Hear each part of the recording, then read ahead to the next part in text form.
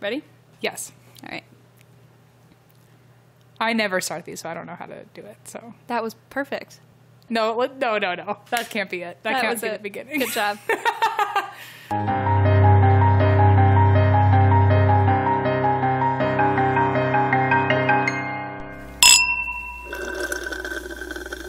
How are you?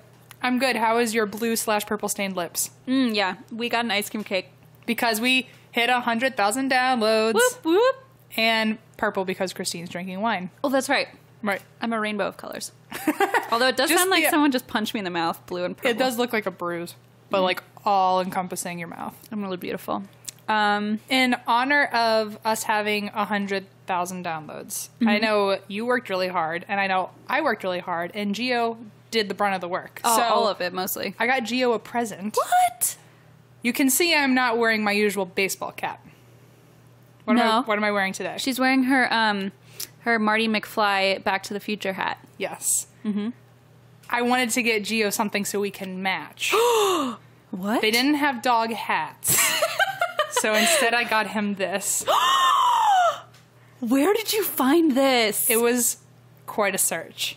Oh my god, she literally just pulled out a Marty McFly like uh It's lenticular fabric. lenticular bow tie. It's made from the same material as the hat. It's like the hologram. like it's the same.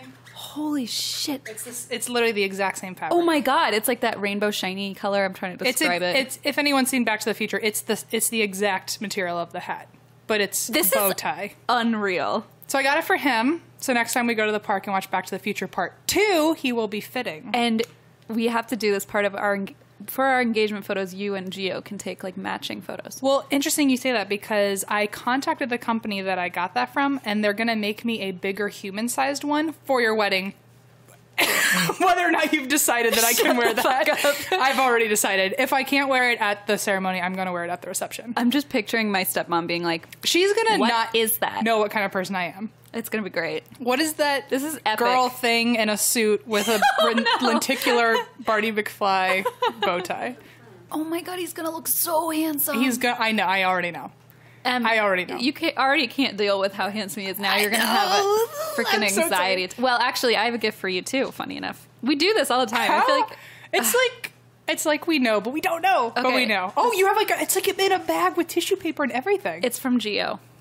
Are you kidding me? I'm not kidding you, which So is I got- hilarious. I yeah. got Geo a present, and you he got me a present. Yeah. and we didn't even know about it. No, that's actually really funny. That's because him and I share one soul. right? why. Sure. Yes. Oh, baby Geo! So sweet. I got a key to Christine's apartment with a little camo leash thing. This means that we've taken our relationship to the next level. You and Geo. Oh, okay. Oh well, I thought. Just shutting me down. Listen. Just another one of those rejections we can talk about sometime. I tried to give you a gift. You said it was it was Geo and you had the same soul. So It does say Geo on it with a little heart Mm-hmm. as the dot for the eye. So I take it this for this weekend. Yep. He wants you to come hang out this weekend. Because the reason I drink is because I will be babysitting Geo this weekend. The reason I drink is that I'll be out of town this weekend having an anxiety attack every five minutes. Which about- one of us will lose it first? I'm gonna need someone to chaperone both of you at all times. yeah. But at least I have a key to your apartment so we can. I can come snuggle him. It'll be great. Little baby Geo. Thank you. Thank And you And you. really went the extra mile with the bag. You could just hand me a key, but. Ah, it's more fun that way. Aw. Okay. Now, what do we open that? Mm-hmm. Okay, cool. Do you want to announce it? Sure. Yeah, we got uh, our second piece of fan mail to our PO box. We got our first box, We got our first package. That's right. Whoop. And it came from New Zealand. which blows my mind. Like, thank you. Like, someone from New Zealand really cares about us, and it's making a lot of noise. It is. It's from Jess. Thank you, Jess. Jess. Thank you, Jess. I Um, just repeated you. I know. And it also says customs declaration because I have to write what's in it. Um, it says Oh. chocolate, comma lollies.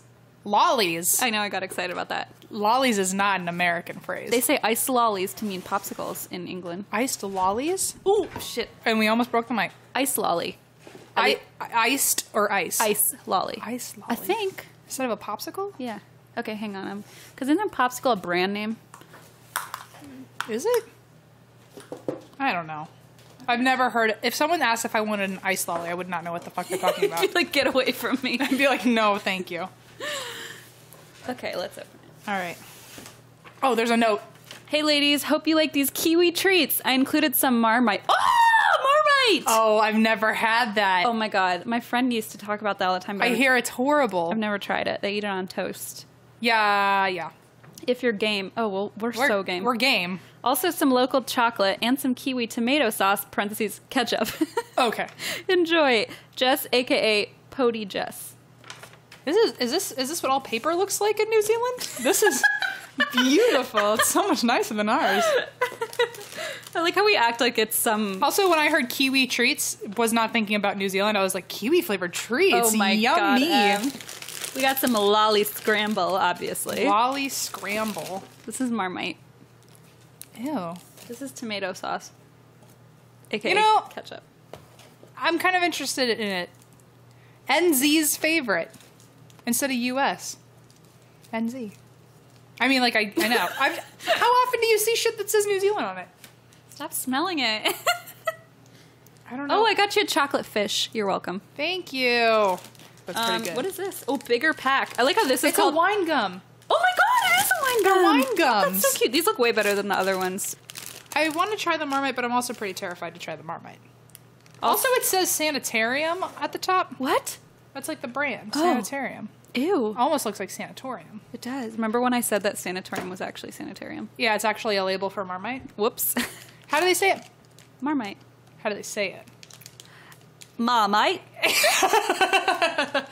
You know what I learned? That was awful. You know how um um like if something gets lowered or something gets risen up, Yeah. if you say rise up, like rising up, Mhm. say that. Rise up. And then say um oh like rollerblades, say blades. Oh. Rise of blades. it's razor blades and Rise of blades. Oh my god, that's amazing. Now I can't unhear it. What does it actually say? Now I feel like I'm just saying. Saying rise, oh, rise up blades. rise up, blades. Rise of blades. Oh, I'm But now it sounds so- like razor blades. All right, well, Thank you, This is Jess. awesome. You are such a sweetheart. Thank we'll you. snack through this. Man, we just we got ice cream cake. We got uh, bow ties and uh, candy. Oh my well, god. Well, we got lollies. Oh yeah, ice lollies. they're not called. Are they called candies there? See? Yeah, I Are they think- called sweets? Maybe sweets. I'm gonna try one of these. What is that? They're milkshakes. oh shit! You have a wine one and I have a milkshake one. How did I not get How did that? we not even notice? We were saying rise up lights this whole time. Oh, that's why. Oh man. Oh man, this is the best day of my life, dude. I like how we don't even care if there might be like anthrax in here. It's literally called milkshakes. oh my god. Wait. The candy is called milkshakes.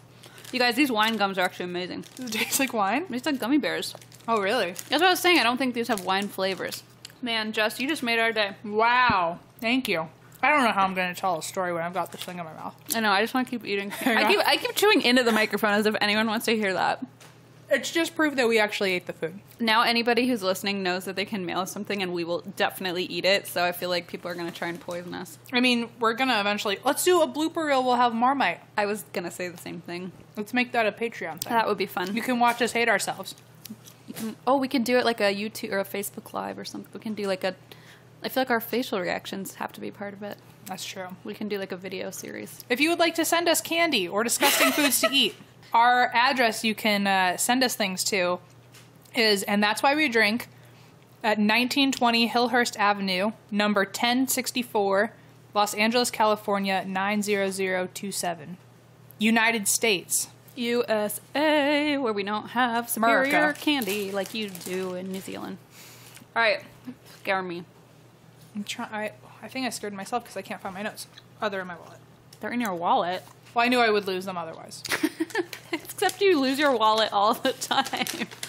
That's true. yeah, that could have turned out really bad. Okay.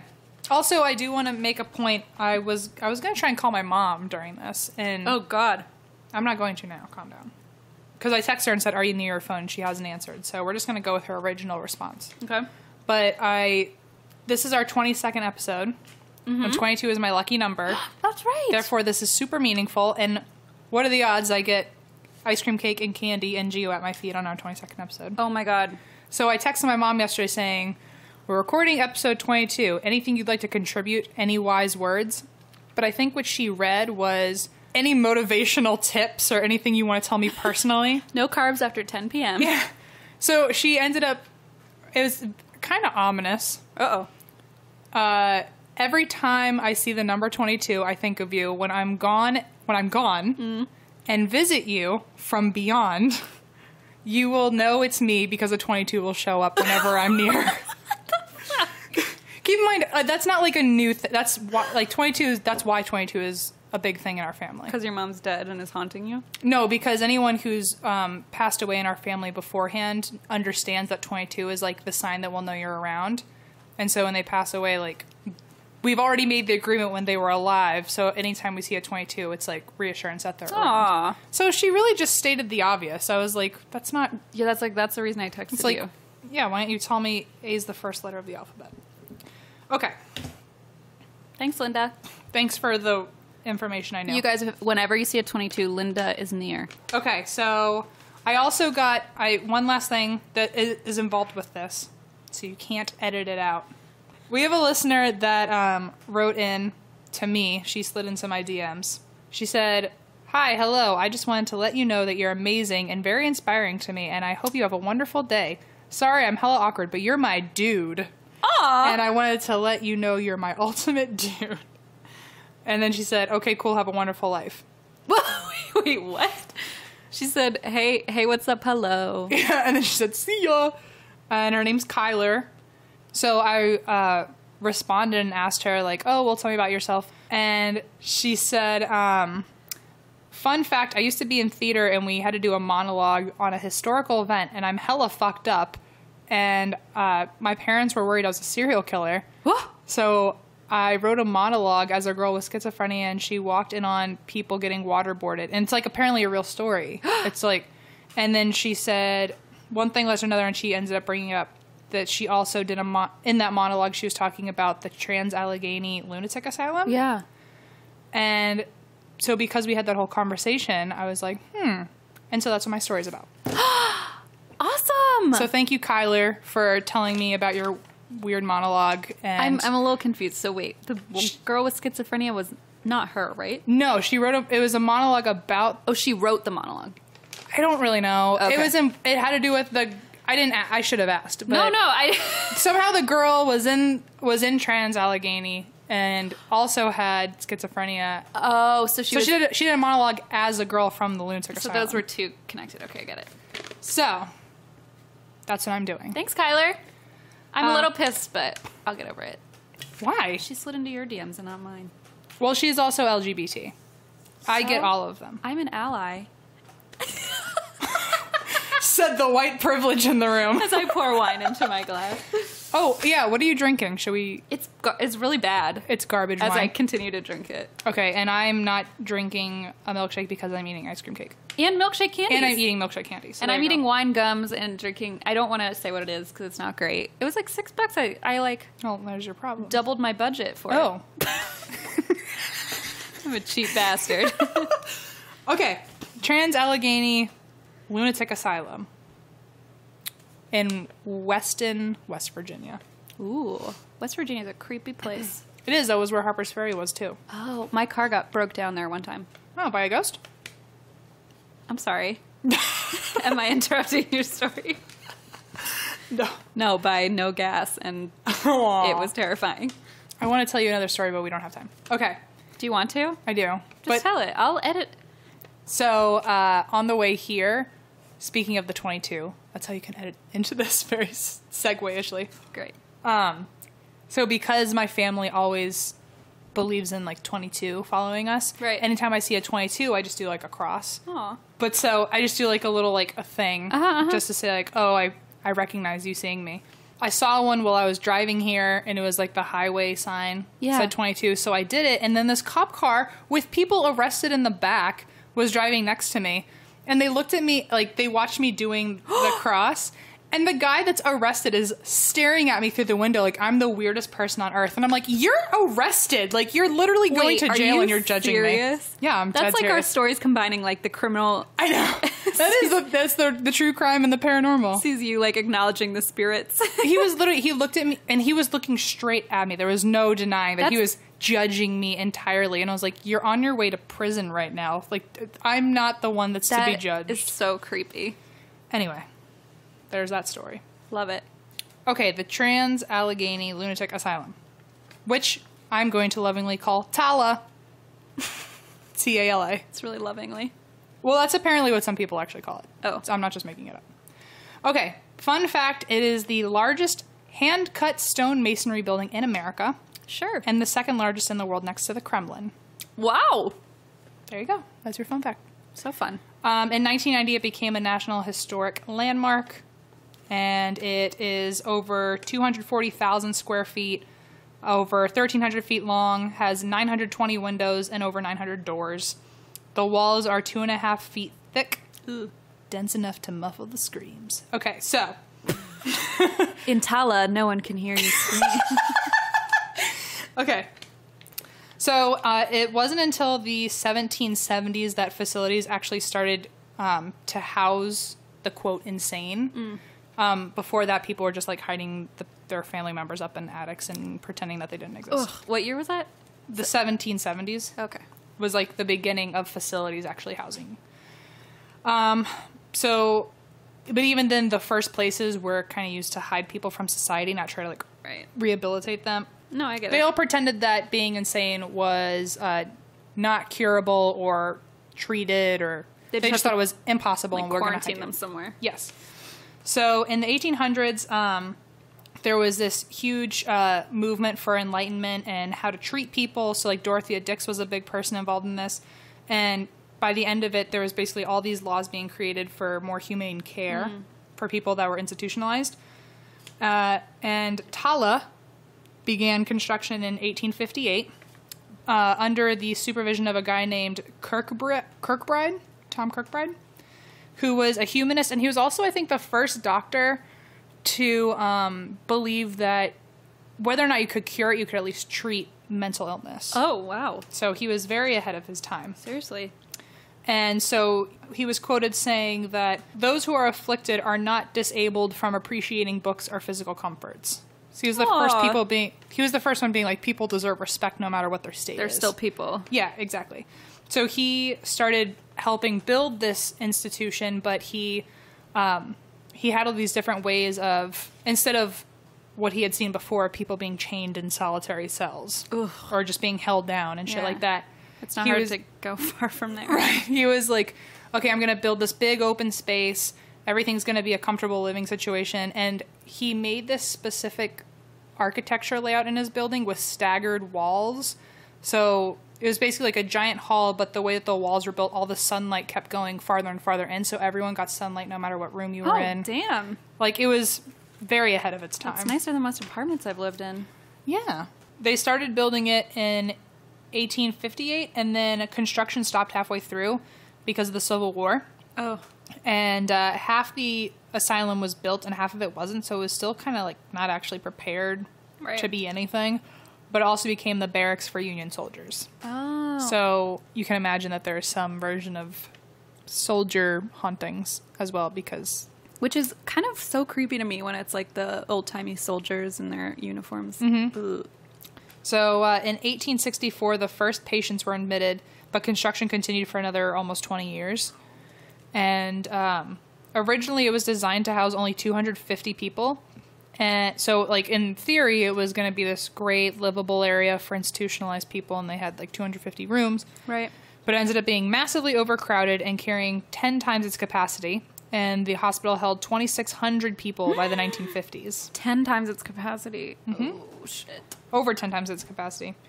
And at the time, because even though like this guy Tom Kirkbride, Bride, You have such a hard time. I don't know why I can't figure out his name. Kirkbride.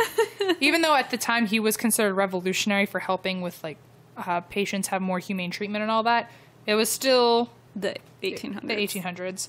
And Right, right. mental illness was still basically a non-existent concept at this point. So everything, everything, everything was considered mentally insane. Ugh. So anyone could be admitted for any reason at all.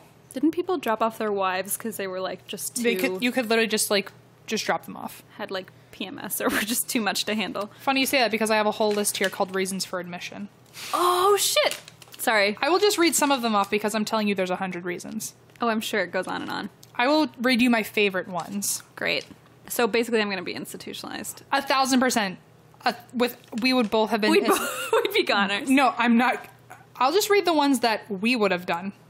Um, okay. Imaginary female trouble, Check. immoral life, Check. laziness, Oh, oh, double check. uh, menstrual deranged, Ugh. mental excitement. just you know, being excited. Mental excitement. Overaction of the mind, overtaxing mental powers, What the fuck? periodical fits, the loss of a lawsuit. The loss of a lawsuit? Listen, they get weird. One of them is bad whiskey, which I don't know what it is, but you'd be institutionalized for it. and uh, another one is uh, bad company, which I'm sure I am. We'd both be screwed. Business nerves. I don't know what that means. Um, These are not real things. It gets worse. I'm just reading. The It gets worse? I'm reading the light ones right now because I want a specific conversation to happen when I tell you the other ones. Oh, good. One is fighting fire. I don't even know what that means. Um, the war. Like, can I do that today with the election? Can I just? Uh, I need to be admitted right now. I feel like everyone needs to be admitted. Um, time of life, whatever that fucking means. also, if you get old, maybe. I don't know, or just your your it's it's your time. This is your insane time of life. um, I don't know what uterine derangement is as opposed to menstrual derangement. It sounds horrible. They're both different things. Vicious vices. Christine's got those. Mm. That's me. Um, Superstition. I would be put away. Oh, absolutely. Um, the vices and the superstition, we'd be done for. I don't know what Salvation Army means, but I guess if you're part of it, you go. Like the Salvation Army, where you drop off your clothes. Also, fell from horse. That's like that's like Lifeline back then. Like, oh, I can't get up. You know what? I knew a guy named Carl. Speaking of crazy Carl, mm-hmm. he was Chinese and his name was Carl. He didn't speak English, but I watched him fall off a horse one time Okay, in China. okay. And then he bought a back scratcher from a flea market and made us all like scratch his Sounds back. like a weird tale that like a troll would tell under a bridge. Just, he fell off a horse, and my stepmom and I burst out laughing, and then we were like, "Oh, Oh. that's not good." He was fine. Let's talk about masturbation. Perfect segue. Perfect. Oh, by the way, my father said he's just now starting to listen to our episode, so Oh, my um, dad This is a perfect one to start on. Almost in tears, and was like, "You've really disappointed me." Well, sorry, Mr. Schiefer. Get ready to buckle up. He's never gonna get to this point. No, no. Um, okay, so here are all the different ways you can masturbate to get admitted into an institution back then. oh, there's certain ways. masturbation and syphilis, so the combo deal. Oh man. Masturbation for 30 years. Does that mean like At a time, does that mean like like all at once? one session. Like who logged that? Like oh, still going? Okay, 16 years to go. like my this is day 30 of my wife or year 30 oh my god. we've hit the year 30 Okay, so um, that um, tobacco and masturbation. So are you doing them at the same time, or just like separately, or smoking a pipe suppressed masturbation? So either you can totally masturbate or not at all, and you're still going to you go, You can go for 30 years or not at all, or never and no matter what, you'll still end up in the same place. sad I mean, it's just a it's a very weird. Um, oh, there was another one of, uh, it was like epileptic fits during masturbation. It's like, first of all, why aren't you just being hospitalized for epilepsy? why do we got to bring masturbation? you know why because it? it's probably like if a woman ever had an orgasm they were like she's Oh, it's like seizing hysteria. yeah they're like oh that's not normal because By the way, men, that's how you know it's real. if Um, it looks like she's having an actual seizure anyway, you're doing a good job hi, mom. Okay, so oops oh hi mom too oops and that's why we drink. uh, Okay, so anyway, those were all the reasons. Th- There were several more. We'll we'll post the picture because it's just ridiculous. The shit that you could get so there's an actual photo of Reasons for admission 1864 to 1889 Trans Allegheny Lunatic Asylum. that's nuts Go ahead and Google image it if you want to read along, guys. that's i'll put it in the show notes All right. So, um, some of the ways that people, um, some of the ways that they took care of these people, quote, aka the their attempts at helping them. right Aversion therapy was used to save homosexuals. So they would just it was suggestive therapy where they would essentially poison you in a small dose, and then Make you look at like yeah, they would make you same sex. they would make you look at, at gay shit while you're poisoned and feel horrible. That way, you would associate the pain and sickness with the gay things that you're attracted to. That way, one day, if you did it enough, you'd be conditioned to not be attracted to that stuff because you'd feel sick. That's so fucked Yeah. up. Well, they still, they still do that in some Well, places. I was about to say we've obviously come real far in the yeah, because there there's still like straight camps where they they make you look at gay porn and then you have to drink ipecac. and like hurt you. Yeah. Yeah, 2017. Um, okay, so aversion therapy, chemical castration. No. Yeah, for not masturbating, by the way. Um, um, hydrotherapy, so ice baths or spraying you with ice water and then leaving you in a cold room. Still doing that shit. Electroshock therapy.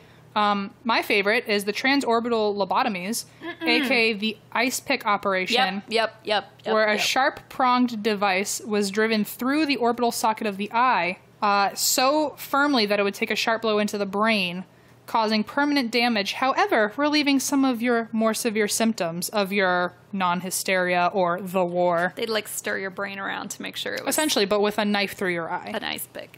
Well, uh, dude, that's fucked up. Did an episode on lobotomies, and I listened to two minutes and was like, "This is the only episode I'm never gonna listen to." So, Dr. Freeman at the hospital, he performed 228 lobotomies per week. Ooh. Imagine having literally done nothing wrong, and they're like, oh, we're going to stab you in the eyes now until like, your brain gets stabbed. Hold still. They just open your eyeballs.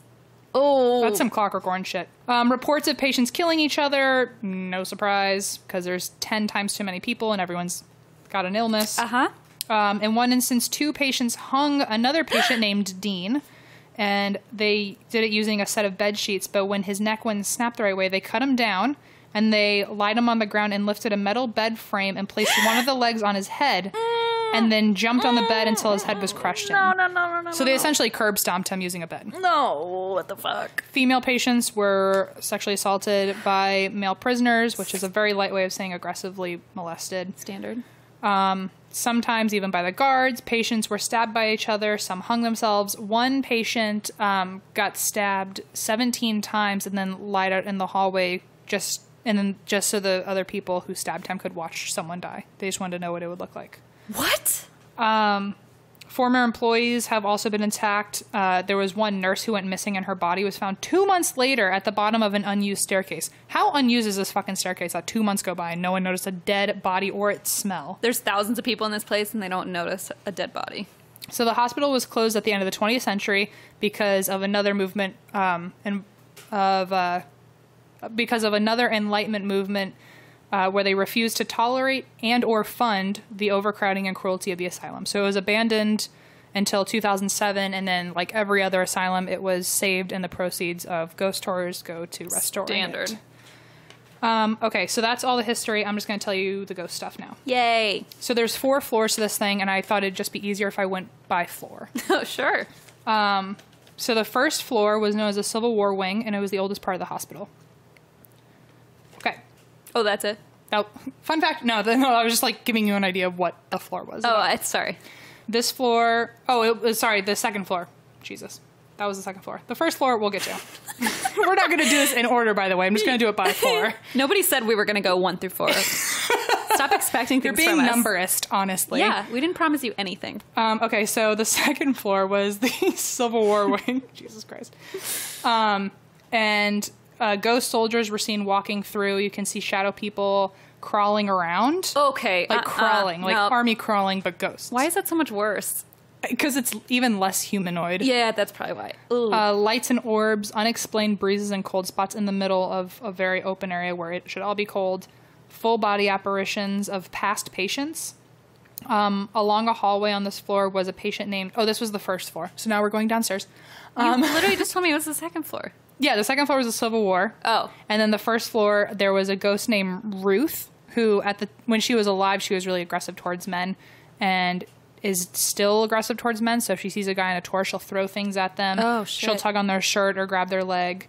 Um, a lot of guys feel like they get poked or pushed against walls. Some have heard um, someone hissing at them. Oh, oh, that's creepy. So there's that. I like how it's like she's really aggressive towards men. Sometimes she pokes them. She some- like you know like on the playground. Sometimes she shoves them against walls, but you know she really likes you. She's just poking you.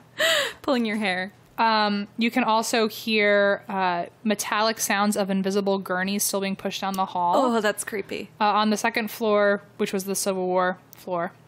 Going upstairs again. Oh, okay. I'm trying to visualize it, you know.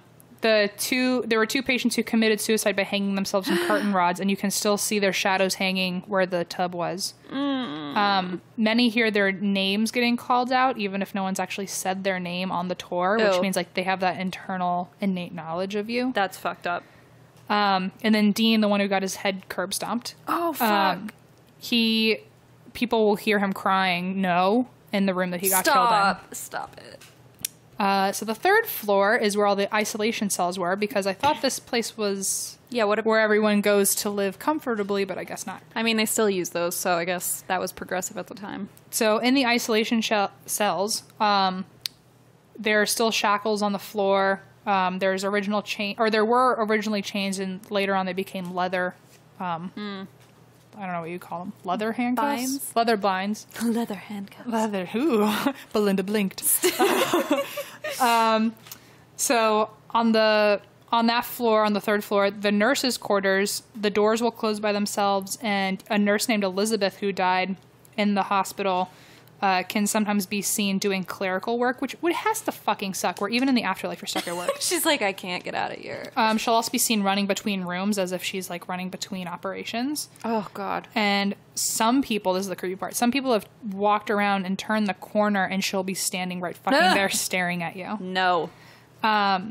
On the fourth floor, there is an apparition called the Creeper, which is just a solid black mass that will like slink and glide through the hallway, like through doors and then up the door or like around the wall. Like we'll literally just like like um you know Alex Mack, No. like the Nickelodeon show. No. She turned into like this silver goop. I just blew your mind. Well, it was Alex Mack, but instead of silver goop, it was like black, jet black, That's so creepy. jet black Alex Mack. Boom. That's, uh, we're gonna create a spin off series, Nickelodeon, if you're listening. Cool. Um, okay, so there were also isolation cells on the fourth floor, and people have gone in and gotten EVPs of someone saying "get out," and you can hear another guy saying "calm down," which is exactly what the um, guards used to say to the people in there who are freaking out. That's so sad. one group oh this is really cool one group uh, they were trying to follow the creeper on the fourth floor and they kept trying to take pictures and they finally saw the giant black mass and when they asked they had a spirit box with them and they said what are you? And the spirit box said demon. Uh, also uh, on the fourth floor is lily's room which uh, is probably one of the creepier hallways because there's a girl there who again i watched the videos. I will give you the links to it but so there was a little girl. There's a bunch of different stories about how she actually showed up. Some people think she was born in the hospital and died as a kid. Some people think she was abandoned by her parents there. Um, but basically she's the friendliest nicest ghost there and everyone is really protective of her and she's absolutely willing to talk to people so she really really likes the flashlight game Yeah. and she likes playing um, catch like she'll roll the ball to you Uh. but it's like the same it's like the same one i talked about last week where they'll jump around the room and show you that like the floor isn't uneven that's crazy. and there's a video I watched where the ball didn't move for a good five minutes, and they were trying to get her to move the ball, and all of a sudden it just starts kind of like going back and forth, like Uh-uh. someone's like playing, like shifting it from hand to hand. That's creepy. And um, uh, there are other people who have left snacks for her. So like one girl left Cracker Jack. Uh, in the room, but like left it in the box, and then she was walking down the hallway to go downstairs, and she could hear someone playing with the box and shaking it, and so she went back, and the box was open, and then she left candy there too, and the candy was unwrapped. and when she went to go, she left a recorder in there to see if she could pick up any noises, and later she went back and she heard an EVP that said "Thanks for the snacks." What? That would be me as a ghost. Me as a ghost, yeah. Please bring us snacks. it's like thanks for the snacks. I've I been mean, starving for hundreds of years. That's me in real life. Like we're sitting here eating people's snacks that they send us. Uh, so, um, that's her. She like she'll also she remembers people that have already visited, and she'll favor certain ones. So she'll do the same things with them. Like That is so weird. there's some guides who know her because they'll she'll tug on their shirt, but some people she'll like hold hands with. That's like kind of sad. it's actually very heartbreaking. She's Yeah. like alone there. There's also been EVPs of uh, little girls saying "mommy," or "I want my mommy," or stop. I know sad shit like that. Um, okay, you can also hear qu- quote crazy screams, as in like, like Deranged. deranged screams. That is Um, terrifying. Unexplained lights flashing, and the guides say that those are two spirits named Frank and Larry. Apparently, they just like turning on lights. Frank and Larry. I feel like we'd be the Frank and Larry of that story. Thousand percent. Um, you can hear footsteps of someone running towards you. Good. Um, you can feel spirits tugging on your clothes. One woman heard a, uh, one person heard a woman scream, and then it was confirmed on an EVP later. You could rehear it. you can smell vomit. oh God. So, you can. Oh, some see a figure walking behind, uh, walking down the hall behind two chairs that are sitting out there.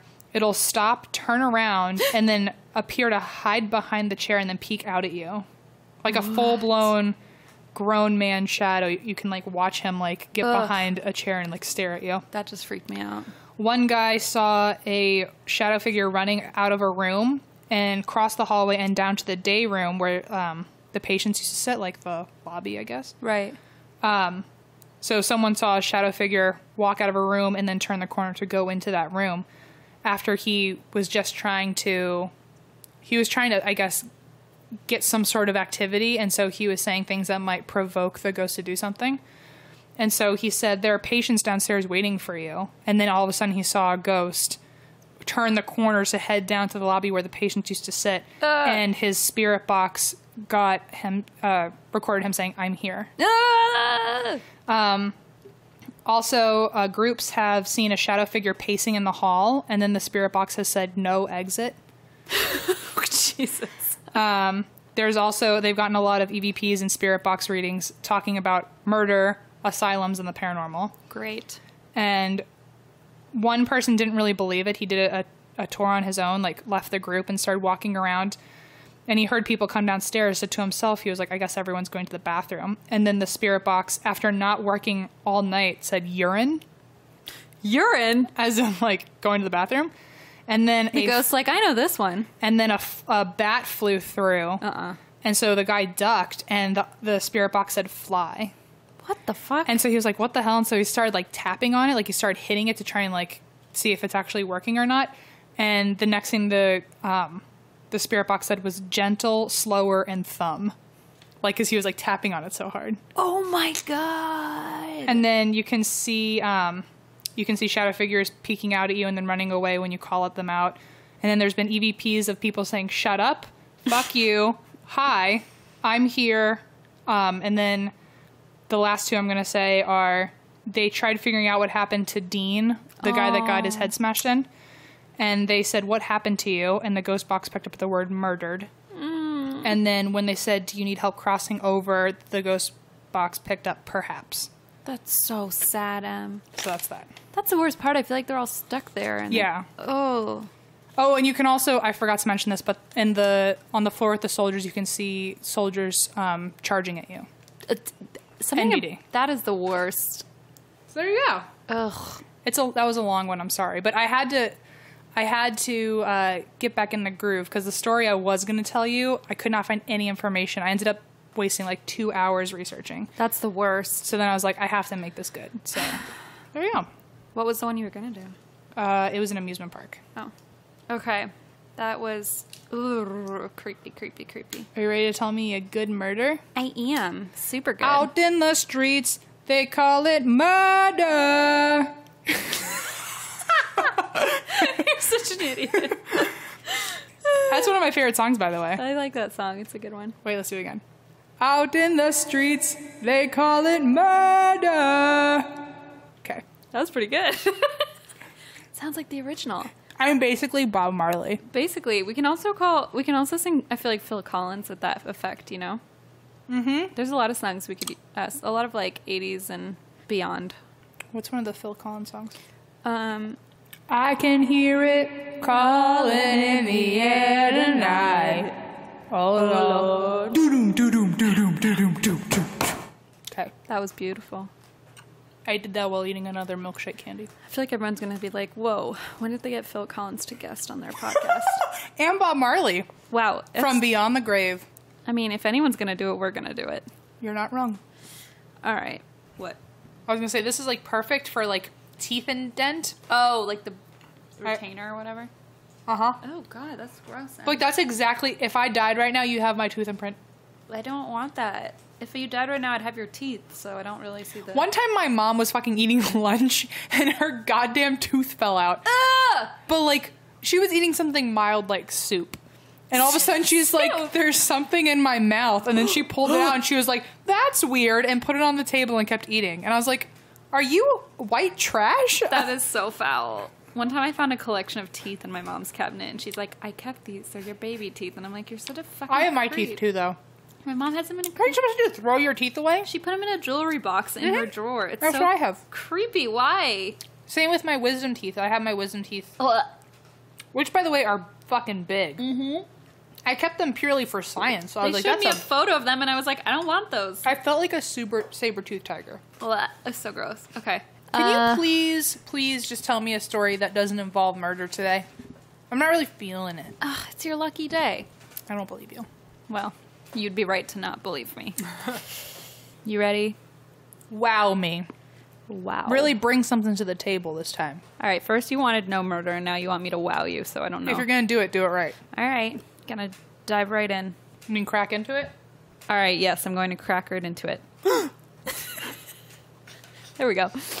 Okay, I'm going to tell you the story of Robert R. Reldan. I don't know him. Sweet. He's a pretty crazy dude. Okay, so uh, some of this information I got from uh, Michael Newton's An Encyclopedia of Modern Serial Killers, which I already added to my Amazon wish list. And You might get that October 2018. what if I put that on my wedding registry? Which, by the way, is the official date now, can we say? Yeah, October 2018. You want to say the date? I aggressively got my venue sorted out already. 1013, hashtag I love lamp. 1013, 2018. Ooh, I wish there was like a number, like a conspiracy thing. I thought, I know, my mom goes, Why is it on Friday the 13th? I'm like, It's not on Friday the 13th. Aww. She just doesn't know how to look at No, calendar. Renata, Renata and I want the same things. I Yeah. feel like still 13 as a symbolically unlucky number to have it the same month as Halloween. You're not really smart. Um, shut up. Okay. Okay. so, fine. I'm having my wedding on 1013, whether M likes it or not. And also, I love lamp. I love Lamp. And also, buy me Michael Newton's An Encyclopedia of Modern Serial Killers. If you want to donate to our Patreon page, What if I just added my wedding registry like to the Patreon page? buy me this blender, please. Aw. I would like this uh, Kate Spade cutlery set. Thank you. Ooh. Okay. As I was saying, on August 14th, 1974, the bodies of 17 year old Mary Pryor and 16 year old Lorraine Kelly were recovered from a wooded area. God. A wooded area near Montvale, New Jersey. Okay. They'd been raped and smothered to death. No. I know it's a really bad story. I'm sorry. Uh, they'd last been seen four days earlier when they left home to go shopping together. Police believe they'd been hitchhiking uh, when they met whoever had killed them. A few months later, on December 13, 1974, 14 year old Doreen Carlucci and 15 year old Joanne Delardo vanished from a church youth center No. in Woodbridge, New Jersey. Their bodies were discovered two weeks later, beaten and strangled. One victim was completely nude, and the other was dressed in only shoes and a sweater. Aw, no. Ooh, it's really Christine. I'm sorry. I'm sorry. I'm sorry. See, every, everyone's fun is done now. The killer had used an extension cord to strangle Doreen. God damn it. I'm sorry, it just keeps getting worse and worse. Christine. I know. The following year, a 26 year old woman named Susan Rains disappeared from her home. Eight days later, 22 year old Susan Reeve vanished without a trace on her walk home from the bus stop after work. Both were still missing when 15 year olds Denise Evans and Carolyn Hedgepeth disappeared from their home in Wilmington, Delaware. Their bodies were found shot execution style No. in Salem County, New Jersey the next day. what the fuck, Christine? I know, I know, I know. You really know. brought it today, huh? I know. I feel like we're just like hitting, Fuck. hitting hard. Why did you do this? I don't know. Next thing I know, you're going to tell me I'm 25 and you're 26. It's going to be a, a real. What? what are you talking about? I know. I'm just trying to trying to make shit up for the blooper reel. Honestly, I can tell you're starting to lose it, so I just want to like throw shit out and see what you do with it. Next thing you know, you're gonna tell me my birthday's in June. Oh my god. What are you Next thing I know, you're gonna tell me that I have student loans from Boston University for the rest Oh. of my oh, life. I'm never gonna talk about that. Okay, good. Don't make me realize it's real. Listen, Stop bringing this entire podcast down. Okay, well, tell me more about execution style murders then. Right, back to it. On October 27th and 28th, the remains of victims Susan Rains and Susan Reeve were found seven miles apart in the woods of Rockland County, New York, just north of New Jersey. Searchers were led to Susan Reeve's body by an arrow that was scratched on a highway embankment above the name Reeve. So he hmm. wrote their her last name and then scratched No. an arrow into it. No. The autopsies revealed they'd both been strangled. No. Speaking of Halloween, on October 31st, 1975, police arrested 35 year old Robert Reldan in Gloucester, New Jersey, on a charge of attempted burglary. He'd been convicted of raping a woman in 1967, so uh, eight years prior, in his hometown of Teaneck, New Jersey, and he had served three years for that crime before being paroled. Uh, five months after that crime, he in 1971 he had pulled a knife on a woman in a hospital parking lot just minutes after his latest therapy session. God damn it. He was convicted a second time for that assault and entered Rahway Prison's rehabilitation program for sex offenders. He was considered a quote model graduate, and authorities were so impressed with his progress that they chose him for a TV interview with David Frost, who's this English journalist and television host who's pretty famous, uh, which aired shortly before his parole in May of 1975. He was held without bond on the burglary charge, and he was questioned about the murders of Susan Reeve and Susan Rains, but homicide detectives publicly announced that he was not considered a subject. Uh, Uh, okay. Not considered a suspect. Mm-hmm. Wrong word. Blah, blah, blah. He is quite a subject, considering he's yours right now. He's definitely the subject of the hour. Um, nine years later, detectives changed their minds Oh, never mind. nine years. but it was another year before he was indicted on two counts of murder in January 1977.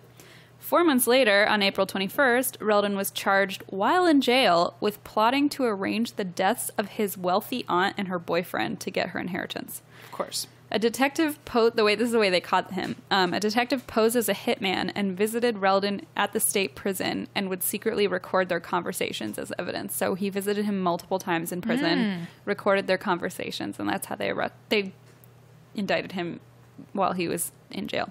Is that legal? Sure, Okay. what to convict him of it? Yeah, I guess so. Um, yeah, so he's convicted of conspiracy and was sentenced to 20 to 55 or 20 to 50 years in prison, which is kind of shocking that like you can rape somebody or like murder somebody and be in for less than that, but if you like plot to kill somebody, It's disgusting. if you think about You can also, you know, buy a very small amount of weed and be in jail for just as long as a murderer or rapist. and he didn't even kill oh, well, he did kill a lot of people, but at that point, In that regard, he was innocent. like the longest time he was in prison at this point was because he plotted to kill somebody. Gross. and he had already murdered several people.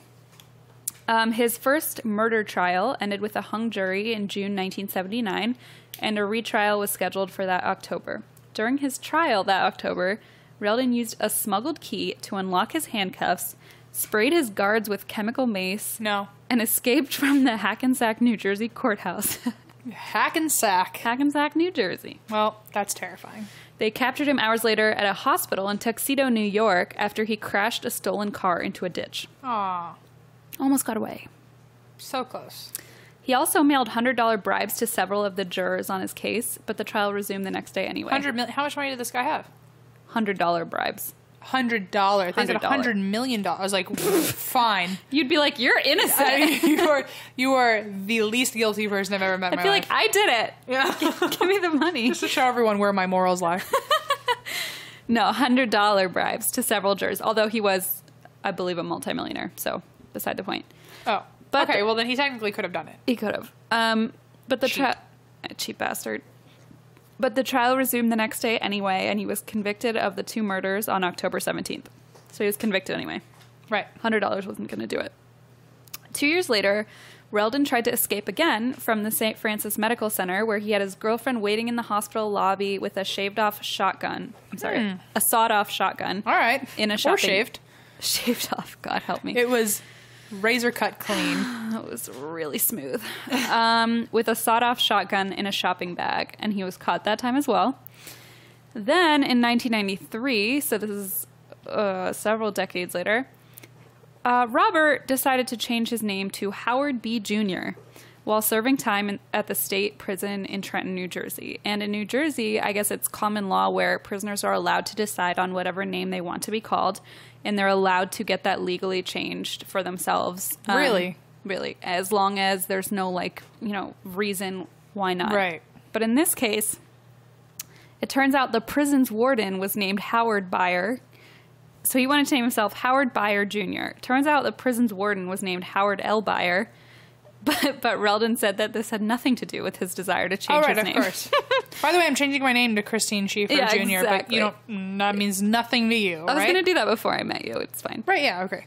Um, his request was rejected, which uh, they think is the first time that's ever happened because Hmm. people change their name All the time. yeah when they when they go to i guess when they go to prison i don't know i guess i can't blame them but i guess it's the first time where they were like no this is not a good idea um, so unless a challenger proves that there is fraudulent intent with the name change so that's exactly what happened um, the Bergen County prosecutor and the state attorney general's office argued that the new name could help him in hatching another escape plot. Um, some lawyers even said that mail to the warden could be diverted to him by accident. Um, and a law professor at Rutgers suggested that, um, like, if the, if uh, Reldan had purchased something like an expensive suit or whatever, that the bill might might be directed to the prison warden. Nice. and he could like divert expenses that way. Nice. Um, and then Ed Martoni, Ed Martone, executive director of the ACLU state office in Newark, said if he wanted to change his name to Mickey Mouse, he might have an easier time of it. So basically, this was just uh, like there was no precedent to this. They were like, we just won't allow it. But this Right. is the first time they were like, you can't change your name to your prison warden's name. Please. Crazy. Um, so I was reading this New York Times article about this, and it said the the last line of it said it was written in 1993. But parole will be a long time coming. Whatever his name, the man also known as the Susan Strangler will not be eligible for parole until the year 2010. And I was like, 2010? Oh my God. I was like, they won't be for a long time. Nope. Um, so that's Did he get paroled? I like immediately looked it up. He's still in prison Okay, good. as of last year. Good. Uh, Reldan remains a suspect in six other homicides, although no other charges have been filed. Um, so he murdered Susan. So he was convicted of Su- the both of the Susans' murders, and that's why he's called the Susan Killer. Oh, okay. Found out he also has a little sister named Susan. Hmm. Not a great connection. Says something about him, I think. a little bit weird. But the story does not end there. Um, remember that aunt he plotted to kill for her money? Oh, yeah. hmm Well, she died in 2007 at the age of 92. Uh, Hey, girl. I know, She made it. leaving an estate valued at $200 million. Uh, she left nearly $9 million to Robert Reldan. Nine million? 9 million, despite his plot to kill her years earlier. Can you imagine being so shitty that you're willing to kill someone and they still leave you almost $10 million? Can you like, imagine? imagine if he was a good nephew. oh my God. Can you imagine the comfort level you must be at if you're like, well, Imagine, yeah, you must really trust your aunt to be like, nah, I'm going to kill her, but she'll be cool with it. it's fine. If I get caught, like, I'll just wait an extra 20 years and get Yeah, I'll still get the money. Um, so actually, the people who challenged the payout was the family of Susan Reeves, who he had murdered. So Oh. her family challenged the payout and was like, "You can't give this guy nine million dollars. He murdered our good. daughter." Good, yeah. good, Um, and apparently, Aunt. Lillian. Give me the money. Yeah, they're like, "We'll take it." Apparently, Aunt Lillian didn't believe that he had wanted her dead and remained supportive throughout his whole trial. Okay, so she's in denial. Got it. Sure. In 2010, Reeves' family settled the lawsuit they'd filed against him, and the $10 million payout went to a scholarship in Susan's name at Hollins University in Roanoke, Virginia, which was her alma mater. Oh, my friend's went to Hollins. really? Yeah. Well, that was her alma mater, and so the 10 million went there instead of Maybe is it like a, an annual thing now, I don't know. or is it was it just like a one time thing? That's just a, that heartwarming end to my story. okay. Okay. That the money didn't go to the murderer; it went to the No, that's super nice. university. Um, and then there was a book called The Charmer, written by former two former Bergen County prosecutors in 2012 about him, which is supposed I haven't read it, but it's supposedly really fascinating, and it takes a look at like his background and how it was. He was very like well off and very quote unquote normal, Mm-hmm. and how the psychology behind like how he did I what he gotcha. did. Oh, cool. Yeah, so that's the story of Robert Reldan. Oh, good. I feel like I do that every time you end a, a horrible story. I'm like, I'm good. It's like, mm, am I? How do I smile, frown at the same time? Awkward. I feel like I blew through that. Sorry. No, you're fine. Whew. Um, if you had to get a scholarship Sure. from a serial killer, who would it oh, be? Oh my, what a question. Like, who would you feel? Do you like? Would you do it purely based on like were they paying for it out of their pocket? Like this this exact situation where like they ended up not getting the money, so it went to your scholarship? Oh. Would you want it to be like a really interesting serial killer, or would you want it to be who would you be least unguilty about? Because like if it was someone who re- was really fucking horrible and killed a lot of mm-hmm. people, I don't know if I could take the money. Yeah, like but the money's going away from him, so like they took it from him, you know. I know, but I it would still feel dirty. It would still feel Yeah. like it, it was he was involved somehow. Sure, sure. Like there's that psycho. Uh, I, sh- I, I should fucking know. There's this uh, way that we think about like how we'll judge even basic objects if it's related to something to someone with a bad with a bad impression. Really? So like, let's say like a serial killer, like wore wore a shirt and then killed someone, and then went to jail. Oh. Would you ever wear that shirt? Would like- you even touch it? the association of Yeah. So it's like I feel like that would be me with the scholarship money. I'd be like, I don't know, like y- this was yours. well, you know, some people believe that people actually do leave like bad energy on things, so I don't know. I mean, hashtag dybbuk box. Seriously, I feel like it might be part. Uh, I was just reading something about psychics who are like every uh, like object has some sort of energy, and if you put bad energy Mm-hmm. into it, it like so I don't know. Hmm. But I don't know if that's real or not. Um, Blaze would say, "Oh my God, please stop talking." Well, I know Geo has some really good energy. That's for sure. yo, I've never put bad energy into him. He's such a good boy. I hope I. I'm sorry I didn't answer your question. Um, I don't know. I mean, I would take literally if someone's giving me money, I'd be like, sure, I'll take it. I'm sorry. I wish I could say otherwise, but if someone was giving me a scholarship, looking at my student loans Honestly, loans, when I think about it, yeah, I, when I think about if someone were willing to pay me my student loans right now, I'd be like, okay. Okay, here's a different question. If a serial killer somehow roundabout you ended up with their money, what would you buy guilt free? oh, As almost not just in like a not just like a, a normal million dollars where you would do it guilt free, but then like a an extra guilt free because like a fuck you. yeah. Wait, so what? Is, it's a million dollars? Say, oh, let's do nine million since that's what he was gonna get. Nine million. Okay. Someone Um, give you nine million dollars. What would you do right now, guilt free? I feel like I would adopt like a dog shelter. Is that weird? Oh, you would do something like philanthropic Yeah, I feel like I'd be like inclined to to be like, well, to like balance I'm it gonna out. better the world. You know? right. That's like doing something exactly he wouldn't want. Exactly. So I feel like in that case, I like if he was a mass, like a serial rapist or something, like Right. that, I would want to put all the money into like a battered woman shelter. Yes, exactly. just to be like fuck you. Yeah, exactly. I think that would be the same thing with me, which is why I find this kind of like at least the mm-hmm. money went to her fund instead of No, like, that feel that's a good nail in the coffin. I also wanted to add that today and yesterday I went on iTunes and holy crap, we got a bunch new reviews and they were all so kind and thank you guys. I read all of them and just get so happy. Um, so thank you for your kind words. They mean a lot and the reviews really help us. Um, a lot of them have clown emojis. Honestly, rude. you don't know me like that. Um, A lot okay. Of, a lot of them talk about Geo. oh, witty bitty baby Geo. Thought that might balance it out for you. So many people, when they actually see Geo, they're like, I did not expect him to look like that at all. Oh, really? Yeah. What do they expect him to look like? First of all, bigger. Oh, yeah. Second of all, someone thought he looked like a golden retriever. Oh, and then they were like, what the fuck dog is this? And I was like, that's my baby Geo. we don't know. He's just a random. He's so handsome. He's like an alien dog. Little baby Geo. Someone said I found you guys rather fortuitously when I was making a Twitter account for my own podcast, and Ooh. the name stood out to me. A lot of people say that. They're like, I saw the name. We picked a good name. Yeah. Thank God it's not Urian Theory anymore. I think if it were Urian Theory, we would have not picked up. Never. I think it, I think it's truly the name. I think our guardian angels were like, God damn it, guys, we give you one task. I know, I know. God damn it. So anyway, um, thank you guys. We appreciate you. We really do. Um, you can find us everywhere. If you've made it this far into our podcast, God bless you. God bless you. I don't have anything else to say. I don't really either. ATWWD podcast. Follow us on Twitter, Instagram, Facebook. You can follow our personal Twitters. You can follow our personal Instagrams. You can follow our podcast Instagrams and Twitters. You can follow Geo at Geo Schiefer. You can. I have nothing to do with that. Once again, You really just like have such a weird curmudgeony opinion of it. because all But I'm also not going to change. because all you do is sit on it and like berate me through. I mean, I do it anyway. yeah. I just needed like a journal, like a live journal, like a Xanga. You know? Oh fuck! What if we created a Xanga?